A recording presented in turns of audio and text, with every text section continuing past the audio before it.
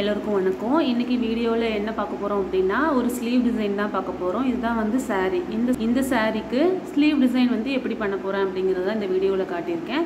So வீடியோவை skip பண்ணாமல் பாருங்கள் ஹனிகோம்ப் இதுதான் வந்து ஸ்லீவ் டிசைனு இந்த ஹனிகோம்ப் எப்படி வந்து பர்ஃபெக்டாக ட்ரா பண்ணுறேன் அப்படிங்கிறத ப்ரீவியஸ் வீடியோவாக நான் அப்லோட் பண்ணியிருக்கேன். அந்த வீடியோவை பார்க்காதவங்க அதோட லிங்க்கை நான் டிஸ்கிரிப்ஷனில் தரேன். தேவைப்படுறவங்க செக் பண்ணிக்கோங்க. ஸோ இப்போ இதை வந்து எப்படி நம்ம ஸ்டிச் பண்ண போகிறோம் அப்படின்னு சொல்லிட்டு பார்க்கலாம்.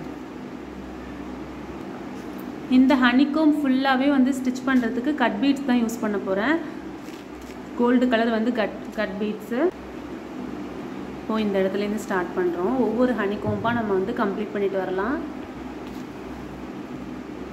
இந்த இடத்துல வந்து ஸ்டார்ட் பண்ணிவிட்டு சிங்கிள் சிங்கிள் பீட்ஸாக ஸ்டிச் பண்ணுங்கள் டபுளாலாம் ஸ்டிச் பண்ண வேணாம். ஏன்னா ஷேப் மாறி போயிடும்.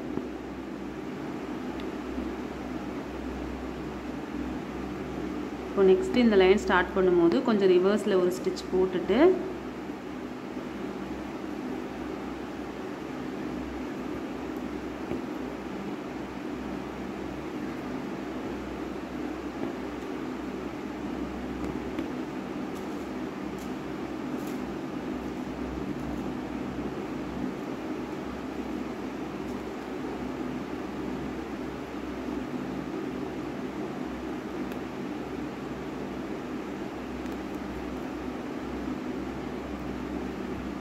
இப்போ இங்கே ஸ்டிச் பண்ணுறேன் அடுத்து வந்து இந்த லைன் இப்படி டேரெக்ஷன் மாற்றுறோம்ல இப்போ அந்த டேரெக்ஷன் மாற்றும் போது ஒரு குட்டி லாக் போட்டுட்டு அதுக்கு ஆப்போசிட் இப்போ இந்த சைடு டேரெக்ஷன் மாற்றுறோம் அப்படின்னா ஆப்போசிட் சைடில் ஒரு சின்ன லாக் ஒரு குட்டி லாக் போட்டுட்டு அதுக்கப்புறம் நம்ம ஸ்டிச் பண்ணோம் அப்படின்னா நமக்கு ஷேப் மாறாமல் கரெக்டாக கிடைக்கும். ஸோ இதோட இந்த லைன் முடியுது. அப்போ இங்கே ஒரு எண்ணாட் போட்டு கம்ப்ளீட் பண்ணிடலாம். இது வந்து நம்ம எல்லாத்துக்குமே பண்ணுற அதே தான். ஷேப் மாறக்கூடாது அப்படின்னா எந்த டைரெக்ஷனில் போகிறோமோ அந்த டைரெக்ஷனுக்கு ஆப்போசிட்டில் வந்து ஒரு ஸ்டிச் கொடுத்துட்டு ஸ்டார்ட் பண்ணணும். நெக்ஸ்ட் இப்போ இங்கே இந்த லைன் கரெக்டாக நம்ம ட்ரா பண்ணியிருக்க அந்த லைன் மேலே நீடில் பஞ்ச் பண்ணணும். அப்படி பஞ்ச் பண்ணோன்னா ஷேப் வந்து சேஞ்ச் ஆகவே ஆகாது. இந்த ஸ்டிச்சை பொறுத்த வரைக்கும் நமக்கு பர்ஃபெக்டான லுக் கிடைக்கணும் அப்படின்னா ஷேப் மாறக்கூடாது. ஸோ அதுக்கு ஏற்ற மாதிரி தான் நம்ம பொறுமையாக வந்து ஸ்டிச்சை போட்டுக்கணும். மற்றபடி ஸ்டிச்சு சிம்பிள் ஸ்டிச்சு தான். கண்டினியூவாக வந்து கட் கட் பீட்ஸை ஸ்டிச் பண்ணிட்டு வர போகிறோம் அவ்வளோதான்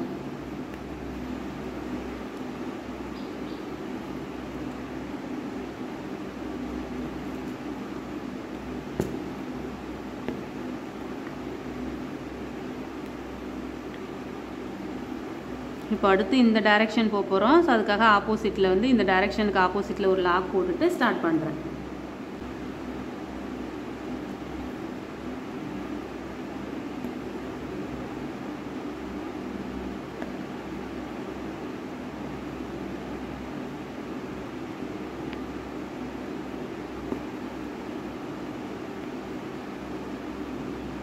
இந்த இடத்துல இப்படி ஒரு சின்ன லைன் இருக்குது ஸோ அதுக்கு ஏற்ற மாதிரி இதுக்கு ஆப்போசிட்டில் ஒரு லாக் போட்டுட்டு ஒரே ஒரு கட் பீட்ஸ் வைக்கலாம்.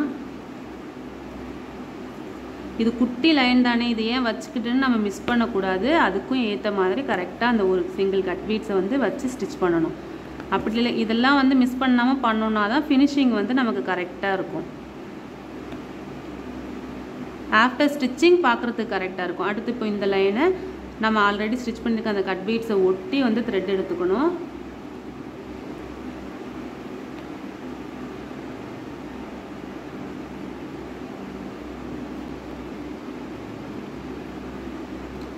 கரெக்டாக வந்து ஃபினிஷ் ஆயிடுச்சு. பார்த்தீங்கன்னா உங்களுக்கு அழகாக வந்து அந்த ஹனிகோம் அந்த ஷேப் வந்து கிடச்சிருக்கு. இதே மாதிரி நம்ம ஒவ்வொரு லைனாக ஸ்டார்ட் பண்ணி கம்ப்ளீட் பண்ணிட்டு வர வேண்டியதான் ஸோ இந்த இது ஃபுல்லாக முடிச்சுட்டு இந்த ஸ்லீவில் அடுத்து என்ன ஒர்க் பண்ணுறேன் அப்படிங்கிறத வந்து பார்க்கலாம். ஹனிகோம் ஃபுல்லாகவே வந்து கம்ப்ளீட் பண்ணி முடிச்சாச்சு. பாருங்கள் அந்த ஷேப்பை வந்து நமக்கு இந்த மாதிரி பர்ஃபெக்டாக கிடைக்கணும். அந்த மாதிரி பொறுமையாக போட்டிங்கன்னா அழகாக இருக்கும். இப்போ இதில் வந்து நீங்கள் கட் ஒர்க் பண்ணுறதுனாலும் பண்ணிக்கலாம். உள்ள என்ன டிசைன் கொடுக்குறதோ அது எல்லாமே வந்து நம்மளோட சாய்ஸ் தான். கட் ஒர்க் பண்ணுறதுனா சரியில் அவுட்லைன் கொடுத்துட்டு அதுக்கப்புறம் கட் ஒர்க் பண்ணணும். ஸோ ஹனிகோம்ப் எம்டியாக கொடுத்துருந்தேன் இல்லையா? அது உள்ளே வந்து என்ன பண்ணியிருக்கேன் அப்படின்னா ஒரு லைன் வந்து சுகர் பீட்ஸ்லேயும் இன்னொரு லைன் வந்து அகைன் வந்து கட் பீட்ஸ்லேயும் கொடுத்துருக்கேன். கட் பீட்ஸில் கொடுத்துட்டு அதுக்கு உள்ள ஃபில்லிங்காக வந்து சீக்வன்ஸு இந்த சீக்வன்ஸை தான் வந்து ஃபில்லிங்காக ஸ்டிச் பண்ண போகிறேன்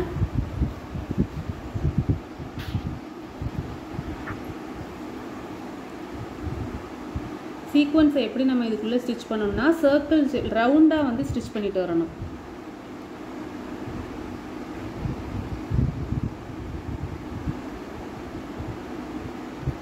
அப்படி ரவுண்டாக ஸ்டிச் பண்ணிட்டு வந்தோம்னா பார்க்குறதுக்கு கொஞ்சம் நல்லாயிருக்கும் இங்கே ஆல்ரெடி நான் ஸ்டிச் பண்ணியிருக்கேன். அதை பாருங்கள் அது எப்படி இருக்குன்ட்டு. நான் பாட்டுக்கு ஆர்டராக அந்த இடத்த வந்து லைனாக ஃபில் பண்ணிட்டு வந்தோம்னா நல்லா இருக்காது. இதே வந்து சர்க்கிள் ஷேப்பில் வந்து நம்ம வெளியிலேருந்து ஆரம்பித்து இன்னர் லைனில் கொண்டாந்து முடித்தோம் அப்படின்னா அழகாக இருக்கும் பார்க்குறதுக்கு ஒரு ஸ்பைரல் ஷேப் வந்து க்ரியேட் ஆகும். இதே மாதிரி தான் வந்து ஃபுல்லாக ஸ்டிச் பண்ணிக்க போகிறேன் இந்த லைன் ஃபுல்லாக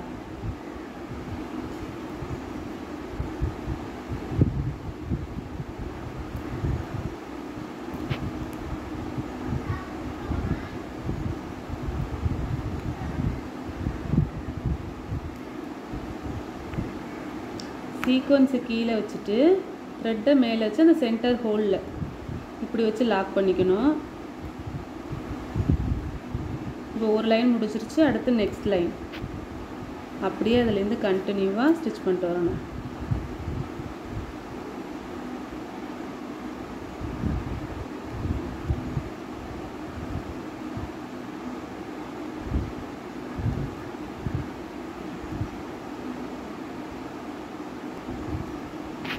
அவ்வளோதான் ஃபுல்லாகவே கம்ப்ளீட் பண்ணியாச்சு. கம்ப்ளீட் பண்ணிவிட்டு என் நாட் போட்டு முடிச்சுக்க வேண்டியது தான் இப்போ இது பார்க்குறதுக்கு ஒரு ஸ்பைரல் ஷேப்பில் கிடைக்குதா. அப்படி வெளியில் ஆரம்பித்து இப்படி சுற்றி இப்படி உள்ளே வர மாதிரி. இந்த மாதிரி தான் வந்து ஃபுல்லாகவே வந்து ஃபில்லிங்ஸ் கொடுத்துருக்கேன். அதுக்கப்புறம் என்னென்னா ஒவ்வொரு இப்போ இந்த சுற்றி இப்போ இந்த சீக்வன்ஸில் ஃபில்லிங் கொடுக்குன்னா சென்டரில் ஒரு லைனில் மட்டும் த்ரீ எம்எம் பீட்ஸும் அதை சுற்றி சுகர் பீட்ஸும் அங்கங்கே இதே மாதிரி தான் வந்து ஃபில் பண்ணியிருக்கேன் இதை ஃபுல்லாக கம்ப்ளீட் பண்ணிவிட்டு அதுக்கப்புறம் இதோட லுக் எப்படி இருக்குது அதுக்கப்புறம் இந்த இடத்துல ஃப்ளவர் கொடுக்குறோம் இல்லையா? அதையும் வந்து சீக்வன்ஸ் ஃப்ளவராக தான் போட்டிருக்கேன். அந்த சீக்வன்ஸ் ஃப்ளவர் எப்படி போடுறேன் அப்படின்னு சொல்லிட்டு காட்டுறேன். இந்த ஹனிகோம் ஃபுல்லாகவே வந்து கம்ப்ளீட் பண்ணிட்டேன். அதுக்கப்புறம் நெக்ஸ்ட்டு வந்து இந்த சீக்வன்ஸில் ஃப்ளவர் போட்டிருக்கேன் இல்லையா? அதே மாதிரி இந்த சைடும் போடணும். இந்த சீக்வன்ஸ் ஃப்ளவர் வந்து எப்படி போட்டங்கிறத வந்து போட்டு காட்டுறேன். இப்போ இந்த சீக்வன்ஸில் ஃப்ளவர் வந்து இந்த சைடு ஃபில் பண்ண போகிறோம் ஸோ இதுக்கு வந்து இந்த சீக்வன்ஸ் தான் நான் யூஸ் பண்ணுறேன்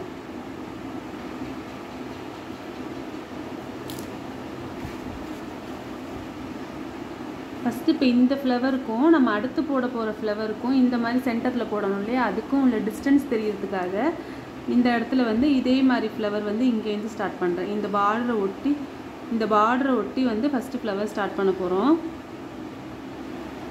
அப்படியே அந்த சீக்வன்ஸ் இருக்கு இல்லையா? அதுக்கு உள்ளே இருந்து. எடுக்கணும். எடுத்து ஒரு ஸ்டிச்சு லாக் எதுவுமே போட வேண்டியதில்லை. அடுத்து இதுக்கு பக்கத்துலேயே இப்படி ஒரு ஸ்டிச் கொடுத்துட்டு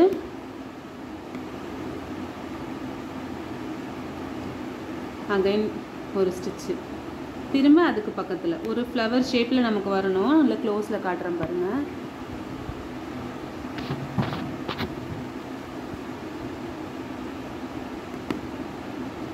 சிக்ஸ் பெட்டல்ஸ் வரணும். அதுக்கு ஏற்ற மாதிரி நம்ம பார்த்து ஸ்டிச் பண்ணிக்கணும்.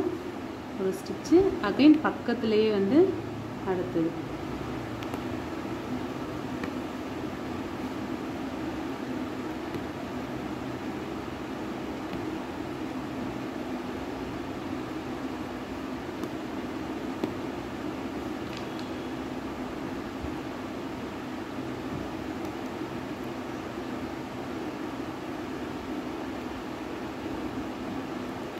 அவ்வளோதான் இப்போ அழகாக ஃப்ளவர் மாதிரி வந்துருச்சு.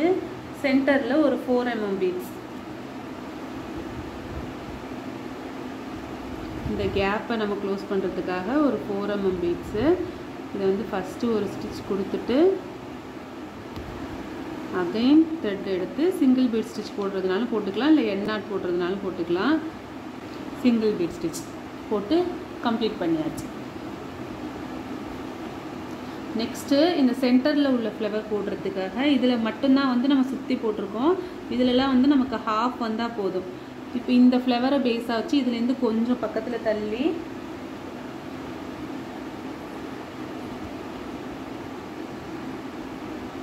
வச்சு ஒரு சின்ன சர்க்கிள் போட்டுக்கலாம். இது வந்து உங்களுக்கு தெரியாது. வீடியோவில் பார்க்க தெரியாது. எனக்கு வந்து இந்த சர்க்கிள் இருக்கிறது நல்லா தெரியுது.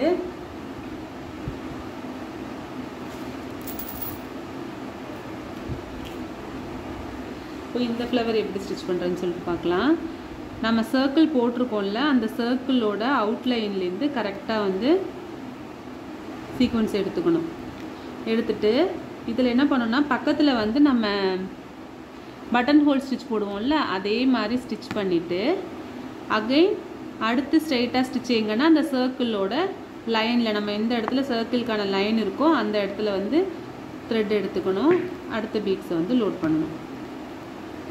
அப்படி இல்லைன்னா நம்ம டேரெக்டாகவே இப்படி வச்சு கூட போட்டுக்கலாம். பட்டன் ஹோல் மாதிரி ஸ்டிச் பண்ணிட்டு போடுறதுனால நம்ம ஸ்டிச் பண்ணிக்கலாம். அப்படி இல்லைன்னா இப்படி அடுத்தடுத்து பக்கத்தில் வந்து அந்த லைனில் கொண்டு வந்து நேராக வச்சுட்டு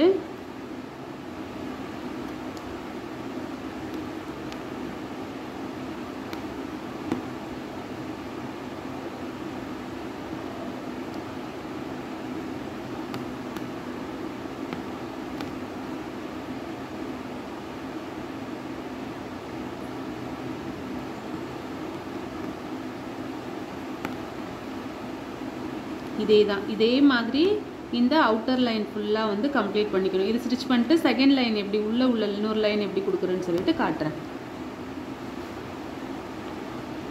இப்போ ஒரு லைன் ஃபுல்லாக கம்ப்ளீட் பண்ணிட்டோம். அடுத்து நெக்ஸ்ட் லைனுக்கு என்ன பண்ணணும் அப்படின்னா ஆல்ரெடி ஸ்டிச் பண்ணியிருக்கோம்ல சீக்வன்ஸு அதோட சென்டர்லேருந்து த்ரெட்டை எடுத்துட்டு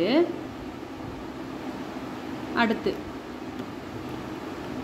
நெக்ஸ்ட்டு போகும்போது இங்கே அடுத்த சீக்வன்ஸோட சென்டர்லேருந்து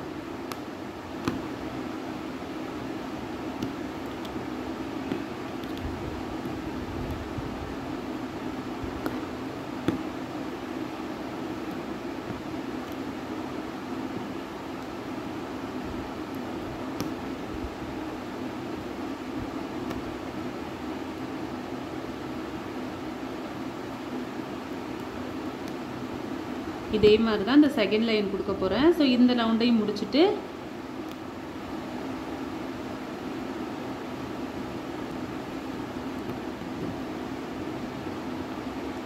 இப்போ ஒரு ரெண்டு லைன் வந்து கம்ப்ளீட் பண்ணிட்டேன். இதுக்கப்புறம் உள்ளே வந்து நம்ம ரிங் நாட்டை வச்சு ஃப்ளவர் மேக் பண்ண போகிறோம் அதை வந்து நம்ம அப்புறமா இந்த இதில் சீக்வன்ஸ் எல்லாமே ஸ்டிச் பண்ணி முடிச்சதுக்கப்புறம் பண்ணலாம். ஸோ இந்த இது ஃபுல்லாகவே வந்து நான் கம்ப்ளீட் பண்ணிவிட்டு அடுத்தது காட்டுறேன். சீக்வன்ஸ் ஃபுல்லாகவே வந்து ஸ்டிச் பண்ணியாச்சு. நெக்ஸ்ட்டு வந்து த்ரெட் இந்த கலர் தான் வந்து சாரீ நான் ஆல்ரெடி சாரீ உங்களுக்கு காட்டிட்டேன் இல்லையா? ஸோ இந்த கலர்லேயே வந்து ரிங் நாட் போட போகிறோம் சென்டரில் மட்டும்.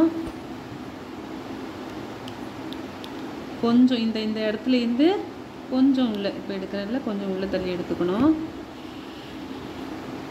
எடுத்துட்டு ஒரு ரொட்டேட்டு ரொட்டேட் பண்ணி எந்த இடத்துல எடுத்துருக்கோமோ அந்த இடத்துல. பக்கத்துலேயே எடுத்து நீடில் பஞ்ச் பண்ணிவிட்டு கரெக்டாக எந்த அளவுக்கு நமக்கு நாட்டு வேணுமோ அந்த இடத்துல கரெக்ட் பிடிச்சிட்டு ரிமைனிங் த்ரெட்டை கீழே எடுத்துடணும்.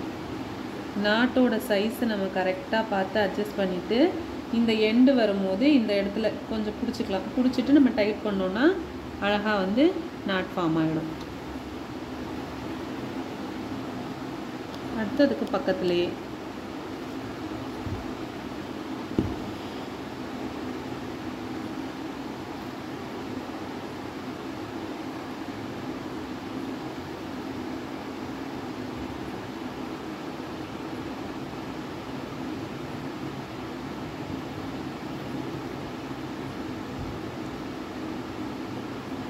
ஸ்லோவாக எடுத்துட்டு டைட் பண்ணிக்கணும்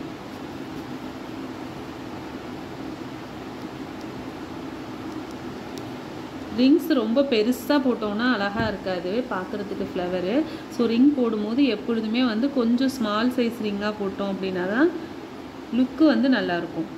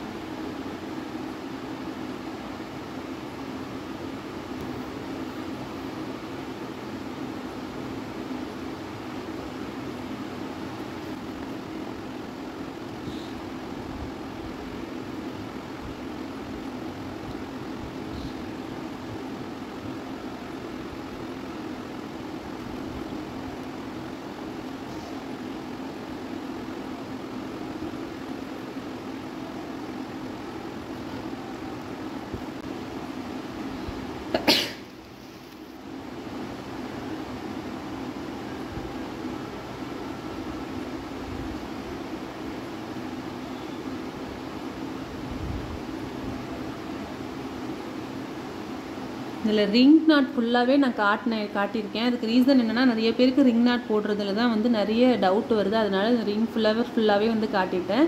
ஸோ இதுக்கப்புறம் இதே மாதிரி நெக்ஸ்ட்டு மூணு ஃப்ளவரையும் கம்ப்ளீட் பண்ணிவிட்டு இதுக்கு சென்டரில் வந்து கொஞ்சம் பீட்ஸ் ஒர்க் பண்ண போகிறோம் அது பண்ணும்போது காட்டுறேன். நீடில் ஸ்டோன் எடுத்துகிட்டு த்ரெட் ஆல்ரெடி எடுத்து வச்சுருக்கோம். ஜஸ்ட் அதை ஸ்டிச் பண்ண போகிறோம் அவ்வளோதான் இது கீழே வந்து கொஞ்சம் த்ரெட் இருக்கிறதுனால கொஞ்சம் ஸ்டிச் பண்ண கஷ்டமாக இருக்கும். எம்ப்ராய்டரி த்ரெட் இருக்குது சில்க் த்ரெட் இருக்கு இல்லையா? ரிங் நாட் போட்டதுக்கு அதனால்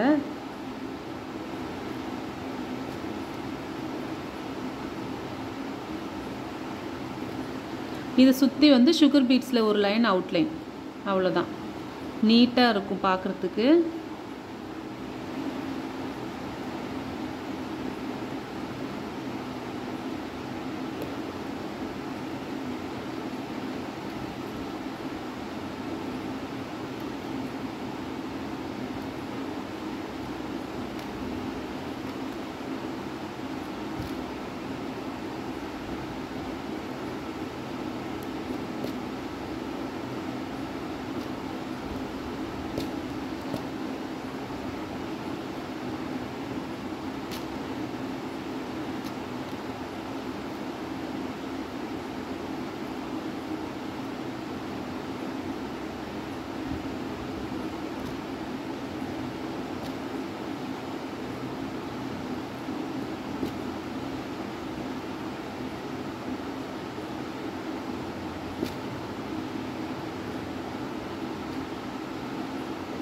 அவ்வளோதான் ஸ்டிச் பண்ணி ஒரு என் ஆட் போட்டு கம்ப்ளீட் பண்ணிக்கலாம்.